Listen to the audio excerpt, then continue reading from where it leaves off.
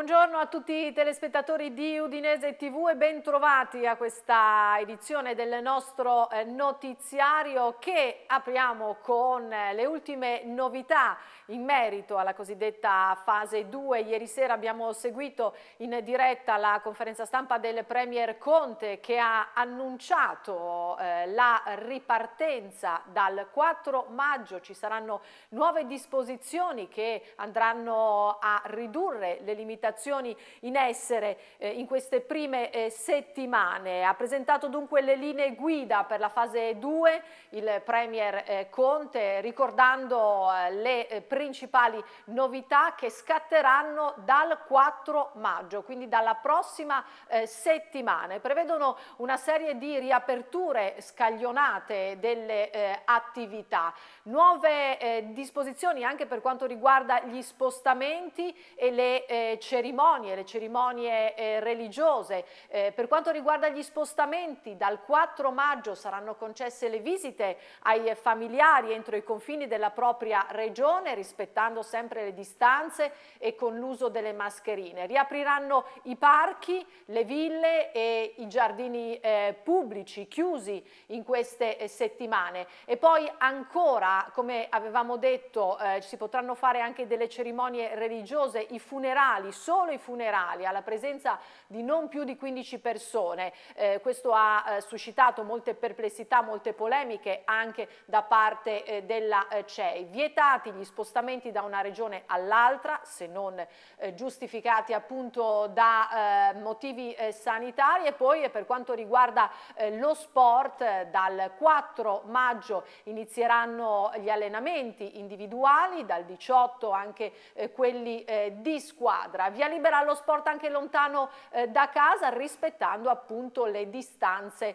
eh, di eh, sicurezza. Eh, questo il passaggio riguardante il, gli allenamenti eh, di gruppo, quindi anche il calcio. Per quanto riguarda le attività produttive, tra le principali novità la riapertura a partire dal 4 maggio del settore manifatturiero, del settore delle costruzioni e la vendita all'ingrosso nel rispetto ovviamente dei protocolli di sicurezza che sono stati siglati in questi giorni con le organizzazioni sindacali.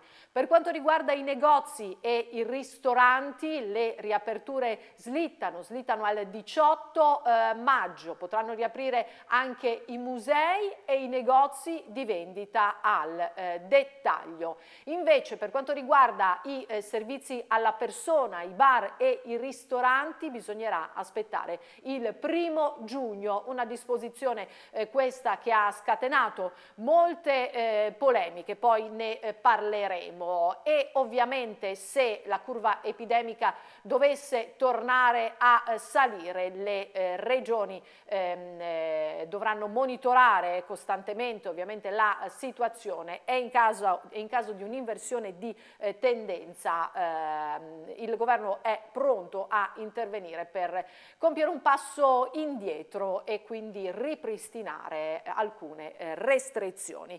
Questa scheda ci ha riassunto un po' le principali novità di questo ultimo decreto del Presidente del Consiglio dei Ministri che, eh, come eh, abbiamo detto, prevede delle modifiche piccole in realtà per quanto riguarda gli eh, spostamenti. Andiamo a sentire proprio le parole del Premier eh, Conte che eh, si concentra in questo primo passaggio su queste novità. Ma veniamo al provvedimento, al nuovo DPCM. Le misure entreranno per lo più in vigore dal 4 maggio. Cosa succederà dal 4 maggio? per le due settimane successive, quindi eh, fino al 18 maggio avremo una conferma generalizzata per quanto riguarda le misure di distanziamento, gli spostamenti. Quindi rimarranno per quanto riguarda gli spostamenti all'interno della regione le eh, motivazioni, comprovate esigenze lavorative, situazioni di necessità, motivi di salute. All'interno della regione sono questi gli spostamenti. Soltanto aggiungiamo anche la possibilità di spostamenti mirati per far visita a congiunti.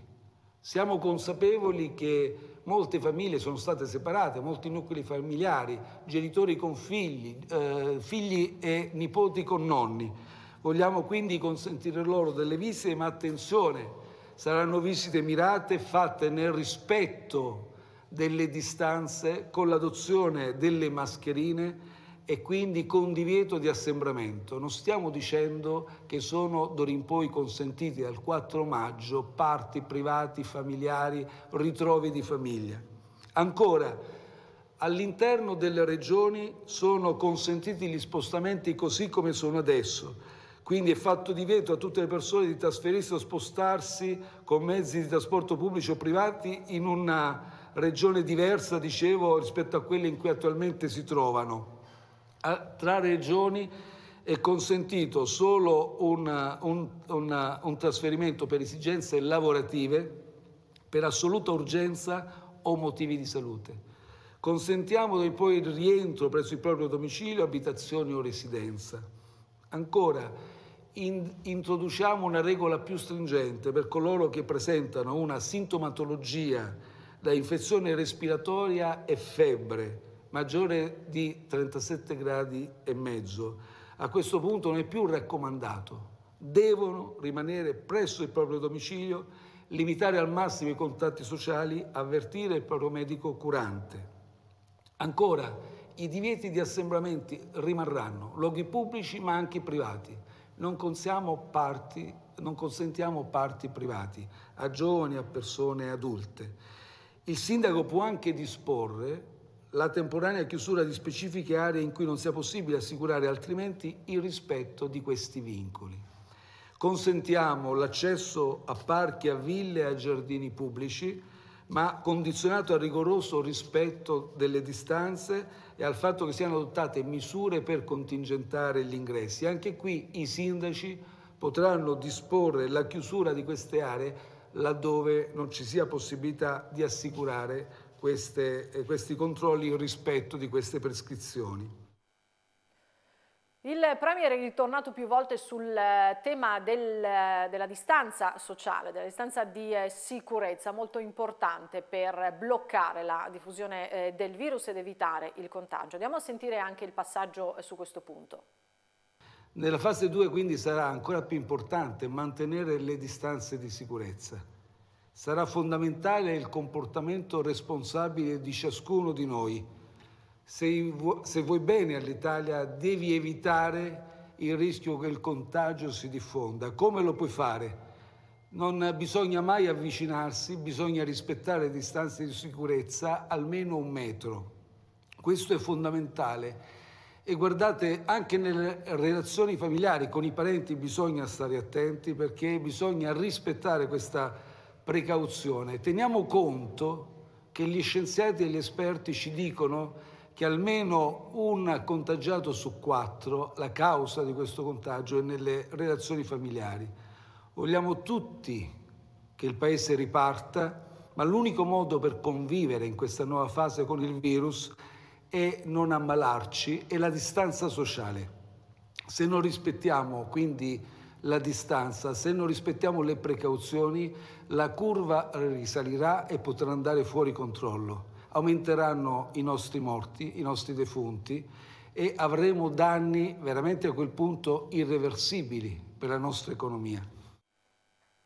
Queste dunque le parole del Premier che ha riassunto i punti principali dell'ultimo eh, dell decreto. Eh, ieri anche il Presidente del Friuli Venezia Giulia, Massimiliano Fedriga, ha emesso una nuova ordinanza che prevede alcune novità eh, diverse rispetto a quelle eh, previste dal decreto con un'anticipazione dei tempi per quanto riguarda ad esempio l'attività dei eh, ristoranti e degli esercizi commerciali take away. E poi ci sono anche altre novità per quanto riguarda gli spostamenti. Andiamo a sentire eh, i contenuti di questa ordinanza nel prossimo servizio.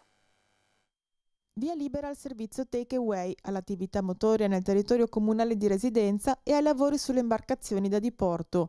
Queste le principali novità previste dalla nuova ordinanza sottoscritta dal governatore Massimiliano Fedriga, la numero 11, che rimarrà in vigore da domani fino al 3 maggio a integrazione di quella attualmente in vigore. Di fatto sono allentate alcune delle restrizioni precedentemente in essere. Così agli esercizi commerciali è consentito di effettuare il servizio take away, ma con ordinazione da remoto e con l'obbligo di garantire la limitazione degli ingressi per evitare assembramenti, sempre con l'utilizzo di mascherine o di coperture per naso e bocca. Così agli esercizi commerciali è consentito di effettuare il servizio take away, ma con ordinazione da remoto e con l'obbligo di garantire la limitazione degli ingressi per evitare assembramenti, sempre con l'utilizzo di mascherine o di coperture per naso e bocca, con la disponibilità per i clienti di idonee soluzioni igienizzanti per le mani e la permanenza degli avventori all'interno dei locali solo per il tempo strettamente necessario a consegna e pagamento della merce. Rimane invece sospesa ogni forma di consumo sul posto di alimenti e bevande. L'ordinanza 11 permette di effettuare passeggiate, corse a piedi in bicicletta nel territorio del proprio comune, mantenendo l'obbligo di una copertura per naso e bocca e della distanza interpersonale di almeno un metro, a eccezione delle persone conviventi o che richiedono assistenza. Direttamente o avvalendosi dell'opera di artigiani sono permessi gli interventi di manutenzione a bordo di imbarcazioni da diporto, all'ormeggio e attività di sistemazione delle darsene.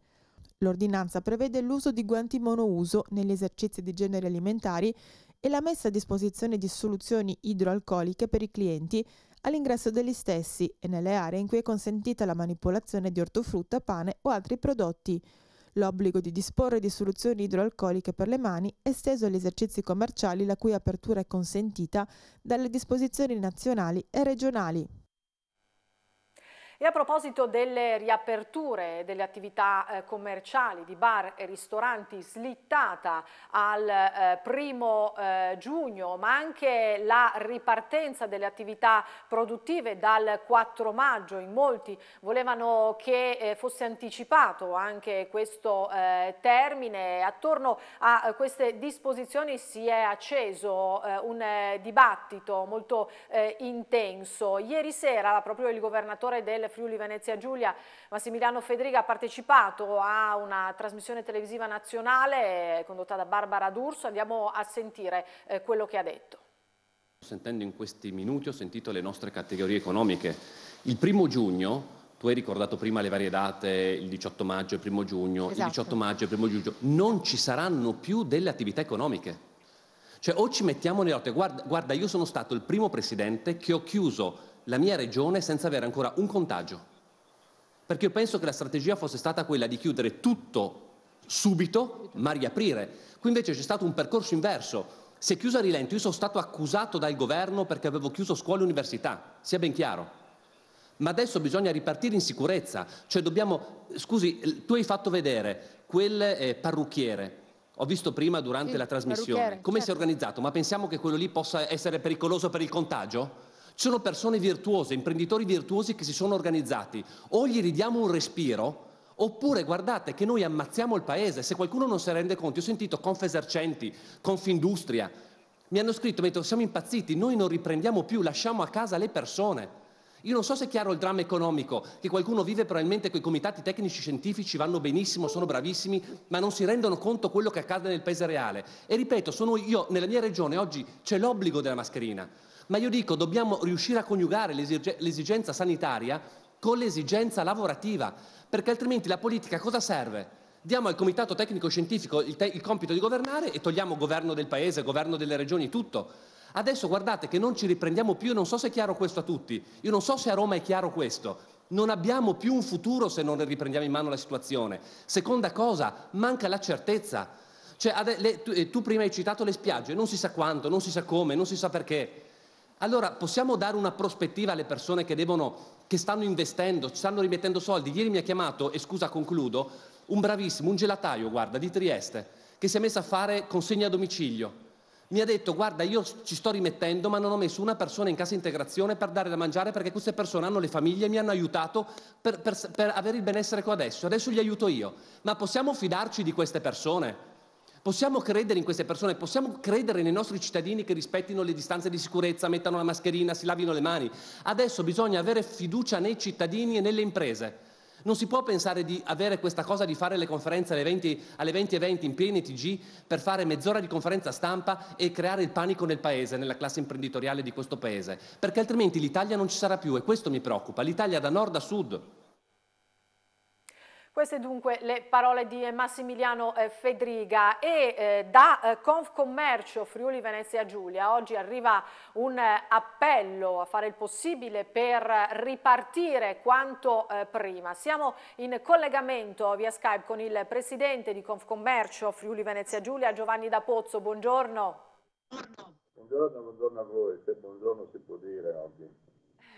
Non è proprio un buongiorno, vi aspettavate delle tempistiche diverse per la ripartenza. Abbiamo sentito anche dalle parole di eh, Fedriga eh, la eh, definizione di un quadro abbastanza difficile, tragico verrebbe eh, da dire. Eh, le eh, chiedo subito mh, se voi un, vi siete fatti un'idea, avete fatto delle proiezioni, avete cercato di capire esattamente cosa potrebbe accadere nelle prossime settimane, cosa potrebbe accadere il 18 maggio o il primo aprile quando dovrebbero riaprire attività eh, di commercio al dettaglio, bar e ristoranti. Qual è la situazione che vi attendete?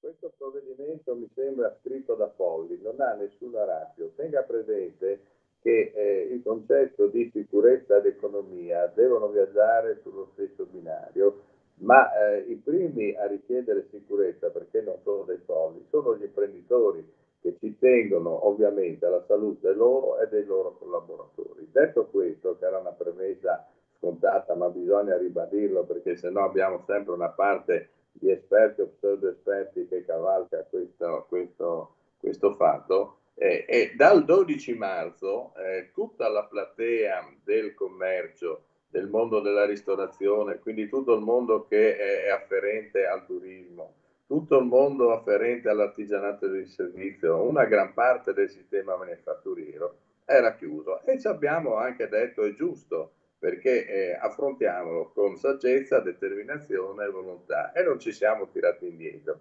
Arrivare a fine aprile e pensare che la grande parte, perché eh, non è vero che la gran parte apre adesso col 4 maggio, ma dovrà aprire col 18 maggio. E la parte legata al mondo dell'ospitalità, quindi alberghi, ristoranti, pizzeria, bar, potrà essere operativa non prima di giugno, vuol dire essere dei folli, vuol dire non avere la consapevolezza che il paese rischia di entrare in una crisi da cui difficilmente poi se ne uscirà anche perché tutto il settore della distribuzione è collegato direttamente in una filiera col settore della manifattura che eh, poi eh, eh la difficoltà si trasferisce subito alla, sul manifatturiero. Un paese come il nostro, dove l'80% del PIL è prodotto da consumi di beni e servizi interni, capite benissimo che tutto il sistema del terziario, che siano beni, che siano servizi, che sia riguardante l'ospitalità e quant'altro, è fondamentale che venga riattivato nel più breve tempo possibile con tutti i protocolli di sicurezza dove noi li stiamo anche definendo con le forze sindacali, ma nei tempi brevi e nei tempi certi. Qui abbiamo la domenica sera delle conferenze stampa eh, in cui ci annunciano un qualcosa che è stato deciso il giorno prima con una programmazione vicino allo zero. È una cosa vergognosa, stanno mettendo in difficoltà, anzi hanno già messo in difficoltà e stanno dando colpo di grazia, ha ragione, ha be- fatto molto bene il Presidente Federica a evidenziare questo, tantissime aziende, ma dietro l'azienda ci sono i lavoratori.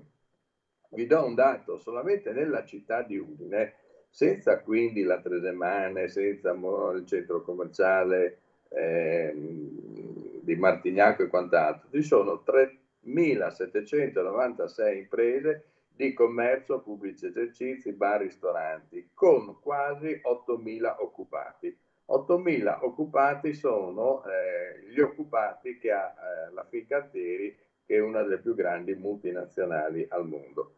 Allora, o si tiene presente che questo sistema piccolo ma distribuito e variegato in tantissime aziende con una, due, tre, cinque dipendenti va tutelato, o altrimenti poi il signor Conte provvederà lui a pagare la disoccupazione di centinaia di migliaia di eh, lavoratori eh, tenendo presente le imprese che hanno chiuso, è un qualcosa di folle e di senza senso.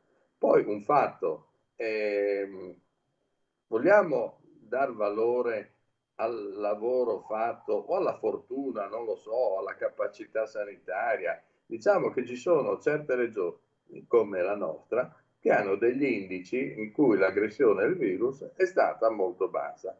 Beh, viva Dio, eh, visto che viviamo da reclusi all'interno di questi confini della regione, facciamo sì che questi dati emergano e vengano anche valorizzati in una differenziazione. Noi, io vivo a Tolmezzo, siamo a 30-40 km dall'Austria. Se noi potessimo oggi andare in Austria tutti quanti, vedremo che ci sono i bar, i negozi aperti e quant'altro. Forse il virus austriaco è diverso dal nostro? No, hanno gestito la crisi anche sotto un profilo sanitario e poi sotto un profilo eh, nelle fasi, chiamiamole due, molto meglio. Eh, non, eh, il presidente Conte che viene a dire che noi siamo un esempio sanitario che deve essere eh, visto ed esportato in tutto il mondo, ma ci facciamo ridere. All'inizio della crisi avevamo i pseudo esperti che dicevano uno il contrario dell'altro. Eh, sono stati fatti degli approcci ad un, un, tema che io capisco, è un tema mai accaduto, è importantissimo e quant'altro, però eh, veramente eh, guardando di giorno in giorno. Quindi non vantiamoci di questo. Io ho una figlia che vive in Canada, mi ha raccontato eh, proprio ieri come eh, in Canada hanno affrontato questo percorso, hanno dimostrato tutta una logica sia sotto il profilo sanitario, scientifico che economico che noi dovremo andare ad imparare. Presidente, una considerazione in eh, chiusura. Come pensate di muovervi? Come pensate di agire per cercare di eh, cambiare le cose? Ma guardi, eh, io ho lasciato da stamattina che sono tutti indignati, tutti vorrebbero protestare, non sai neanche con che forma puoi protestare in questo momento, perché dire chiudiamo i locali, sono chiusi da due mesi, consegniamo le chiavi ai sindaci, beh, poveri sindaci, che cavolo c'entrano loro, eh, scendiamo in piazza, non puoi scendere in piazza, quindi siamo in una situazione anche dove il concetto di democrazia personale, non parlo economica, è fortemente limitato. Di certo qualcosa dobbiamo fare. Io penso che la cosa più intelligente sia dar forza alle proprie regioni, a quelle come il Friuli, come il Veneto, come l'Emilia Romagna, quindi ne ho prese alcune centrodestra e altre di centrosinistra, che eh, hanno le idee chiare, che sono governate da persone che sanno cosa vuol dire avere un'azienda e eh, alla fine del mese staccare l'assegno per un dipendente e il 16 del mese dopo fare le 24, cosa molto importante che probabilmente a Roma pochi conoscono, e cercare di far pressione attraverso le regioni più virtuose affinché il governo risalvisca. Grazie, grazie al Presidente di Confcommercio Friuli Venezia Giulia Giovanni da Pozzo, buon lavoro. Grazie a voi. E noi andiamo avanti con eh, un, eh, un'inchiestina raccolta dalla nostra Monica Nardini che eh, questa mattina è scesa in piazza a Udine per sentire un po' cosa pensano gli udinesi di queste ultime eh, decisioni nazionali e regionali. Sentiamo. Le misure annunciate dal Premier Conte ieri, cosa ne pensa? Per me è sempre troppo presto, ad ogni modo può andare bene. Avrebbe... Le persone sono consapevoli di quello che fanno, altrimenti non serve a niente. Un po' sfiduciata? No, no, no, l'importante è che noi ci comportiamo bene. Penso che siano abbastanza giuste vista la situazione, direi tragica, perché non è finito, no? come tutti pensiamo, di poter uscire e fare. Per cui penso che un po' di prudenza sia necessaria e doverosa. Rispetto alla richiesta del sindaco Fontanini di poter riaprire prima che Udine il più possibile le attività? Sì, io direi che vista la situazione, mi ripeto, più leggera, diciamo, potremmo tentare perlomeno e sperare in una collaborazione, di non tanto, sentirci subito... Tanto come vive anche le misure prese attraverso l'ultima ordinanza dal governatore Federica, per esempio la possibilità di fare attività motoria all'interno del proprio comune? La ritengo una cosa giusta, perché tanta gente sta soffrendo per non potersi, perché c'è gente che vive al sesto piano, al settimo, in appartamenti di 50 metri quadri, eh, abituati a fare un, direi di sì, sempre con la prudenza. Come valuta le misure annunciate dal Premier? Troppi messaggi e, e sempre all'ultimo momento, per cui la gente è un po', come si dice, preoccupata. Una settimana non basta, le dice di preavviso? Ah, io credo di no, io credo di no. E come non capisco, io che ho 79 anni, prossimi 80, dovrei stare a casa, secondo... E questo non mi sembra una cosa giusta. Quindi sono necessarie queste misure e quindi dobbiamo solo temperare. Quindi insomma è d'accordo con quanto comunicato, con le fasi scelte? Ma forse avrei un, un po' più di coraggio nell'avviare la ripresa perché ha ragione, o qua si muore di Covid o si muore per l'economia. È favorevole a questa fase 2 con le tempistiche annunciate oppure no? Sono confuso, non so cosa dire. Insomma si sta adattando a quanto annunciato. Seguo le indicazioni, no? perché bisogna, se no è anarchia. No? Vediamo adesso gli ultimi dati sui eh, contagi in Friuli Venezia Giulia, cominciando da un aggiornamento che ci arriva da eh, Grado. Il sindaco di Grado, eh, Dario eh, Raugna, sulla propria pagina Facebook ha eh, annunciato eh, che sono stati diffusi i risultati dei tamponi effettuati nella casa di riposo Casa Serena ed è emerso un caso di positività tra gli ospiti. In queste giornate angoscianti, scrive Raunia, dalle parole degli esperti abbiamo capito almeno due cose. L'importanza di fare le analisi per rintracciare i casi di positività asintomatici, come quello in oggetto, l'importanza di agire tempestivamente per isolare questi casi, le, eh, prevedendo, prevenendo scusate, le possibilità di eh, contagio. Faccio gli auguri di pronta guarigione alla persona eh, coinvolta, ha scritto il sindaco, in casa Serena stiamo attivando i protocolli per il contenimento della pandemia. Verranno rifatti tutti i tamponi ai 110 ospiti della eh, struttura. E intanto ieri in Friuli Venezia Giulia il numero dei eh, nuovi eh, contagi, come diffuso dalla protezione civile nel tardo pomeriggio di ieri, è stato di 14 eh, eh, unità. Ecco la grafica che ci riassume un po' tutte le ultime, eh, tutti gli ultimi dati. 14 nuovi contagi, 26 guariti, eh, un decesso, 129 i ricoverati, 13 in terapia eh, intensiva, 1106 le eh, persone in isolamento eh, domiciliare. Andiamo a dare un'occhiata anche ai dati eh, nazionali eh, perché eh, ieri nel nostro paese si è eh, registrato di nuovo un aumento dei eh, contagi anche se il numero delle vittime è sceso sensibilmente. 106.103 in questo momento le persone positive al coronavirus nel nostro paese. Vediamo che la regione che registra il maggior numero di contagi è ancora ancora la Lombardia con oltre 72.000 eh, persone contagiate. Il Friuli Venezia Giulia è tra le regioni con il numero di contagi più basso, 2.917. I decessi hanno superato le 26.000 unità, 26.644, i guariti 64.928 questi gli ultimi eh, dati su questa eh, epidemia, mentre dall'OMS arriva un eh, monito, attenzione, non ne siamo certi eh, che eh, il coronavirus una volta ehm, diciamo così, eh, contratto garantisca l'immunità, è su questo che stanno lavorando gli esperti. Allora andiamo a vedere il prossimo servizio curato dall'ANSA che ci fa il punto proprio eh, sull'immunità che viene data dalle eh, diverse eh, malattie. Sentiamo.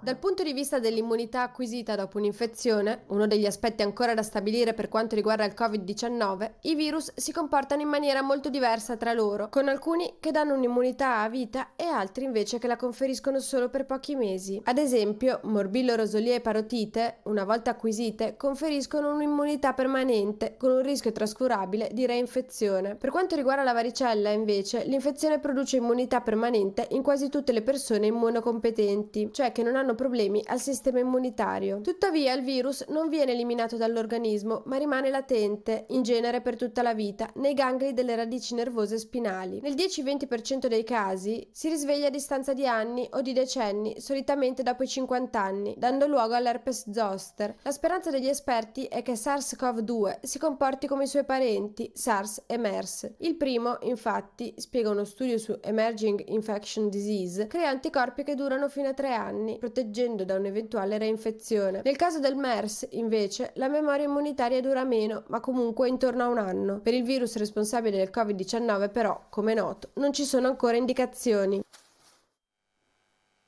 E siamo in chiusura di questa edizione del nostro notiziario, allora vi lascio le previsioni del tempo a cura dell'Osmer Arpa, noi ci rivediamo alle 12, a più tardi.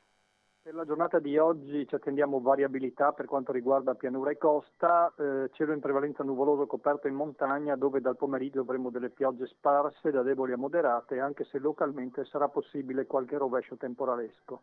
Temperature massime intorno ai 21-22 gradi in pianura, intorno ai 18-19 gradi per quanto riguarda la costa.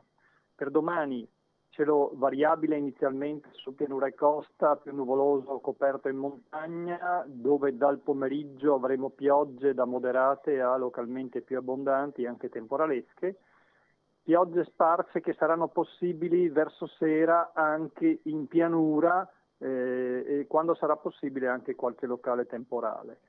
Dopodiché eh, mercoledì e giovedì eh, altri fronti arriveranno dall'Atlantico e aumenterà quindi la probabilità di pioggia, quindi pian pianino si va verso una situazione che eh, dovrebbe portare sufficiente pioggia per quanto riguarda soprattutto la pianura dove ovviamente l'agricoltura ha bisogno di, eh, di acqua.